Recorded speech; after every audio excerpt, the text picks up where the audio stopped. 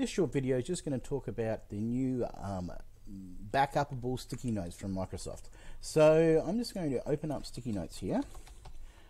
Now, if you haven't opened them before, it might pop up and ask you to log on.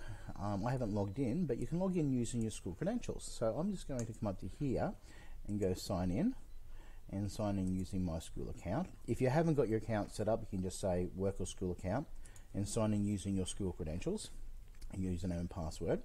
And you see when I've done this, it's actually brought the backup of all the notes, the sticky notes that I actually have here. So I can actually take those and bring them out into my desktop.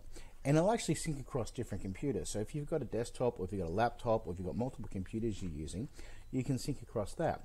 But what's more, in Windows, um, in OneNote for Windows 10, You'll notice over here now they've got the little open feed for your stickies. So if you click on here, this will show you your, your feed of the sticky notes again, which is synced into your account. So you can see this note here is the same as this note here. If I make changes on there, or if I've brought this out onto my desktop and made changes, those changes will appear in my feed. Also, it's a really cool feature of being able to search your notes. So that's the new um, um, on on um, steroids sticky notes that Microsoft is now offering.